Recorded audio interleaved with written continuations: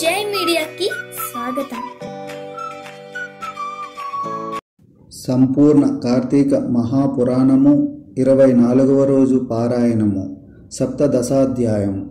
ఇక ఇక్కడ యుద్ధరంగంలో అతిలోకమైన శివ శౌర్యానికి చిన్నబుచ్చుకున్న జలంధ్రుడు పునః ఈశ్వరుని సమ్మోహింపజేయదలిచి మాయాగౌరిని సృష్టించాడు. ఒక రథంపై కట్టివేయబడి నిసుంబాది నిశాచరుల చేత వధింపబడుతూ ఉన్న ఆ మాయాగౌరిని చూశాడు శివుడు.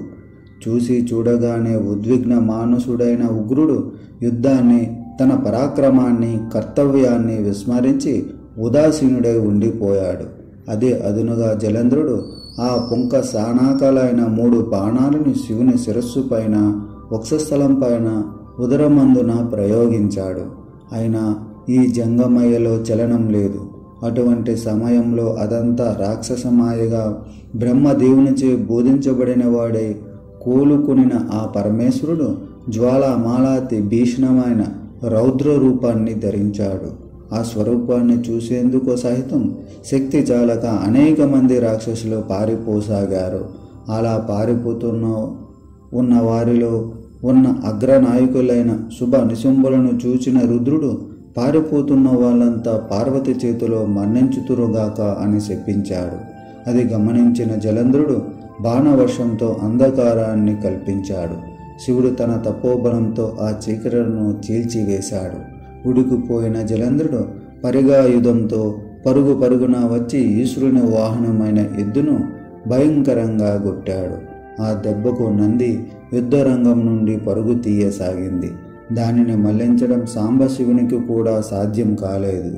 ఎక్కడా లేని కోపం వచ్చింది రుద్రుడికి. విను వెంటనే సుదర్శన చక్రాన్ని ప్రయోగించాడు. భూమి ఆకాశాలను దహింపజేసి వేయగలిగినంతటి వేగవంతమైన ఆ చక్రం చూపులను భయభ్రాంతులను చేస్తూ వెళ్ళి జలంధ్రుడి తల నరికి నేలపై పడివేసింది. అతని మొండంలోంచి వెలువడ్డ తేజస్సు ఈశ్వరునిలో లీనమైపోయింది.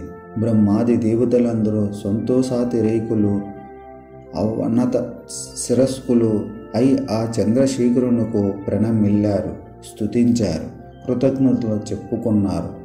అనంతరం బృందా మోహితుడే అడవులలో బడి అల్లాడిపోతున్న విష్ణువుని స్వస్థుని చేసి ఉపాయాన్ని కూడా అనుగ్రహించమని కోరగా అందుకు గాను పరాశక్తిని వేడుకోమని చెప్పి జయ జయధ్వానాలు నడుమ సకలగణ సమేతుడై గృహోన్ముఖుడయ్యాడు.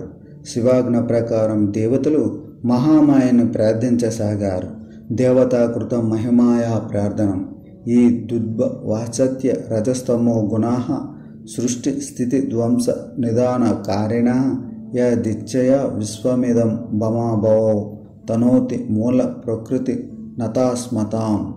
యాహి త్రయో విసంతి భేద శాబ్దిత या यद्रुपकर्माट् जगुस्त्र युपवै जगत्यशेषे समधिष्ठतपरा वेदस्तु मूलप्रकृतिं नतास्मृतां यदचितयुक्तः पुरुषास्तु नित्यं दारिद्र्यभिमोह पराभवादीन् न प्राप्नुवन्त्येव हि भक्तवत्सालं पदैव मूलप्रकृतं नतास्मृताम्। సృష్టికర్త లయలకు కారణమైన సత్వ రజస్తమో గుణాలు మూడు దేని నుంచి పుట్టినవో దేవి యొక్క ఇచ్చ వలన లోకంలో జనన మరణాలు సంభవిస్తున్నాయో అటువంటి మూల ప్రకృతికి నమస్కరిస్తున్నాయి. ఏదైతే ఇరవై మూడు వేదములతో చెప్పబడి సమస్త లోకములను అధిష్ఠించినదో వేదములలో సైతం దేని యొక్క రూపకర్మములు కీర్తింపబడుతున్నాయో అట్టి మూల ప్రకృతికి నమస్కరిస్తున్నాను. దీనియందు భక్తుడైన వాడు దరిద్రభయ మోహ పరాభాలను పొందడో. ఏదైతే తన భక్తులు ఎందు ఎడతగిని ప్రేమ కలదో ఆ మూల ప్రకృతికి నమస్కరిస్తున్నాను. నారదోవాచ నారదుడు చెబుతున్నాడు దేవతలచే గావించబడిన ఈ మూల ప్రకృతి స్థనాన్ని ఎవరైతే ఏకాగ్ర చిత్రంతో త్రిసంధ్యలు పఠిస్తారో వాళ్ళే నాడు కూడా దారిద్ర్యాన్ని కానీ భయాన్ని కానీ మోహాన్ని కానీ దుఃఖాన్ని కానీ అవమానాన్ని కానీ పొందరు. ఇక ప్రస్తుతంలోనికి చూద్దాము. ఆ విధంగా దేవతలు ప్రార్థన చేయగానే ఆకాశంలో జ్వాలాయుతమైన అద్భుత తేజస్సు ఒకటి పొడజూపి ఓ దేవతలారా త్రిగుణాల రీత్యా నేను త్రిమూర్తులను ధరించి ఉన్నాను. రజోగుణం వలన లక్ష్మిగాను తమోగుణం వలన సరస్వతిగాను సత్వగుణం వలన పార్వతిగాను విరసిల్లుతున్నది నేనే కావున మీ వాంఛ పరిపూర్తికై ఆ లక్ష్మి పార్వతి సరస్వతులను ఆశ్రయింపుడని ఆదేశించి అంతర్ధానమైపోయింది దేవతలు రమ ఉమ సరస్వతులు చెంతకు వెళ్ళి తమ మనోగతాన్ని వెల్లడించారు. భక్త వత్సలైన ఆ తల్లులు ముగ్గురు వారికి కొన్ని బీజాలనిచ్చి విష్ణువు ఎక్కడైతే మోహవృతుడై ఉన్నాడో అక్కడి బీజాల్ని చల్లండి అని చెప్పారు. దేవతల బీజాలను తెచ్చి శ్రీహరిమూర్తుడై పడి ఉన్న బృంద చిత ప్రాంతమంతటా చిలకించారు. ఓ పృథు భూపతి పాతివ్రత్య మహిమ సుభోభితమైన ఈ గాథను ఏకాగ్రత చిత్తంతో చదివిన స్త్రీలు కానీ పురుషులు కానీ ఇహంలో సంతాన సంపదను పరంలో స్వర్గ సంపదను పొందుతున్నారు అన్నాడు నారదుడు. సప్తదశోధ్యాయ సమాప్తాహ. పదిహేడవ అధ్యాయము సమాప్తము. అష్టదశాధ్యాయము పునః నారదుడు ప్రవచిస్తున్నాడు. ఓ పృథు మహారాజా పూర్వోక్త విధంగా బృందా చితాస్తులలో దేవతలచే చల్లబడిన బీజాల వల్ల త్రిగుణ శోభితాలైన ఉసిరి మాలతి తులసి అనే మూడు రకాల వృక్షాలు ఆవిర్భవించాయి. వీటిలో సరస్వతి వలన ఉసిరిక లక్ష్మి వలన మాలతి గౌరీ వలన తులసి ఏర్పడ్డాయి. అంతవరకు బృందా మోహంతో మందుడై ఉన్న విష్ణువు తన చుట్టూ చెట్లై ములిచిన లక్ష్మి సరస్వతి పార్వతి మహిమల వలన కోలుకున్నవాడై అనురాగపూరిత హృదయంతో ఆ వృక్షాలను తిలకించసాగాడు. కానీ వాటిలో లక్ష్మీదత్త బీజాలు ఈర్ష్యాగుణాన్వితాలై ఉండటం వలన ఆ బీజోత్పన్నమైన మాలతి బర్బరి నామదేవి అయి విష్ణువునికి ఏడమయ్యింది. కేవల అనురాగ పూరితాలైన ఉసిరి తులసి మాత్రమే పీతాంబరునికి ప్రియాంకరాలయ్యాయి. తద్వారా విష్ణువు మోహ విముక్తుడై ధాత్రి తులసి సమేతుడై సర్వదేవతా నమస్కారాలను అందుకుంటూ వైకుంఠానికి తరలి వెళ్ళాడు అందువలనే కార్తీక వ్రతంలోని విష్ణు పూజలో ముందుగా తులసిని పూజించినట్లయితే పుండరీకాక్షుడు ఎనలేని సంతోషాన్ని పొందుతాడు. అంతేకాదు తులసి మహిమ. ఎవరింటిలో తులసి వనం ఉంటుందో ఆ ఇల్లు సర్వతీర్థ స్వరూపమై వర్ధిల్లుతుంది. యమదూతలు అక్కడకు రాలేరు.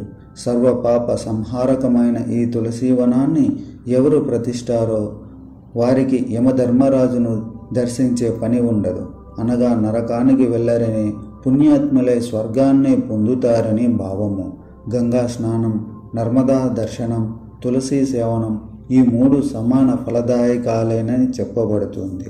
తులసిని ప్రతిష్ఠించిన తడిపిన తాకిన పెంచిన మానసిక శరీరక పాపాలనే గాక మాటల వలవి పాపాలు కూడా మటుమాయమై పోతాయి. తులసి గుత్తులలో శివుడు కేశవులను అర్పించినవాడు ఖచ్చితంగా మోక్షాన్ని పొందుతాదనడంలో ఎటువంటి సందేహము లేదు. పుష్కరాది తీర్థాలు గంగాది నదులు విష్ణాది దేవతలు తులసి దళాలతో నివసిస్తుంటారు. ఎన్ని పాపాలు చేసిన వాడైనా సరే ఎవడైతే శరీరానికి తులసి మట్టిని పూసుకుని మరణిస్తున్నాడో అటువంటి వాణిని చూసేందుకు యముడు కూడా భయపడతాడు. అటువంటి వాడు విష్ణు సాయుధ్యాన్ని పొందుతున్నాడనడం సత్యం సత్యం. ముమ్మాటికి సత్యం. తులసి చెట్లు యొక్క గంధాన్ని ధరించేవాడికి పాపాలు కొంచెం కూడా అంటవు. తులసి వనపు నీడలో పితృ శ్రాద్ధ చేసినట్లయితే అది పితృలకు అక్షయ పదాన్నిస్తుంది. అదేవిధంగా ధాత్రి ఉసిరి మహిమ ఉసిరి చెట్టు నీడను పిండ ప్రదానం చేసిన వారి పితరులు నరకం నుంచి విముక్తులవుతారు. ఎవడైతే తన శిరస్సు పైన ముఖమందున దేహమందున చేతులందున ఉసిరి పండును ధరిస్తున్నాడో వాడు సాక్షాత్ విష్ణు స్వరూపుడని తెలుసుకోవాలి. ఎవడి శరీరంపై ఉసిరిక ఫలము తులసి ద్వారకోద్భవమైన మృతిగా ఉంటాయో నిస్సందేహంగా వాడు జీవన్ముక్తుడేనని తెలుసుకో. ఉసిరి పండ్లని తులసి దళాన్ని కలిపిన జలాలతో స్నానమాడిన వాడికి తత్క్షణమే గంగా స్నానఫలం లభిస్తుంది. ఉసిరి పత్రితో గాని ఫలాలతో గాని దేవతా పూజ చేసిన వాడికి ముత్యాలతోనూ మాణిక్యాలతోనూ బంగారంతోనూ ఆరాధించిన ఫలం ప్రాప్తిస్తుంది.